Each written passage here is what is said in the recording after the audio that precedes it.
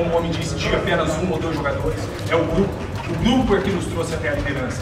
E é o grupo que vai nos manter e vai fazer com que nós chegamos aos nossos objetivos. Mas para isso a gente precisa acreditar no companheiro, precisa acreditar em si mesmo. Mas para isso a gente precisa colocar em prática dentro de campo, cara. É, é como um disse, a gente não pode aceitar tomar gol fácil, não. Aceitar gol, porra, não é só o setor defensivo, é o setor ofensivo também. É um grupo, isso aqui é um ajudando o outro. Então a gente não pode aceitar algumas coisas, achar que está tudo bem. Mas para isso vamos ter alegria de nos defender, de atacar, de jogar, de marcar. E para isso nós precisamos de todo mundo. Não é apenas os 11 que começam. E sim, os 23 que aqui estão, aqueles que não vieram. Nós vamos precisar de todos! Todos! Então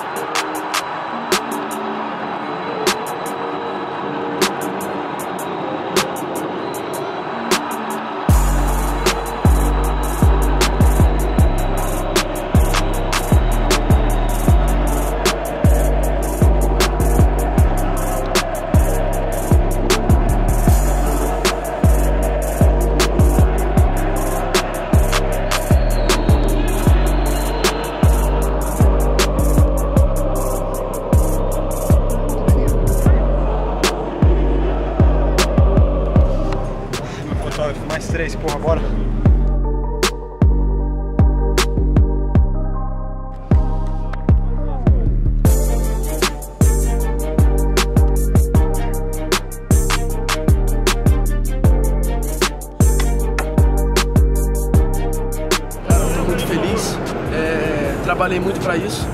Quero agradecer a Deus, a minha família que vem me apoiando e vamos com tudo. Tem muita coisa para acontecer ainda. Friozinho na barriga antes do jogo ali, como é que foi? Tava foda, tava foda, mas eu tinha jogado, só não tinha entrado titular. Os companheiros me deu muita moral e vamos seguir. A gente já viu ali como é que é seu estilo de jogo, né? Já vai pra cima, parte pra cima, gosta de rabiscar, né, velho? Eu sou um cara que vou pra cima mesmo, ainda mais que o treinador pede isso. Eu tô muito confiante para as próximas partidas. Boa, valeu, Savio, bom jogo, velho.